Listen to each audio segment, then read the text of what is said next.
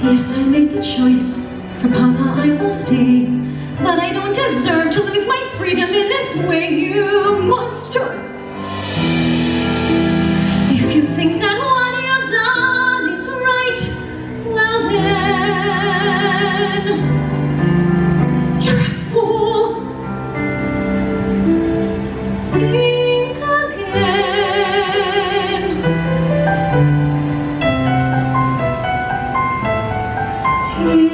this home? Is this where I should learn to be happy?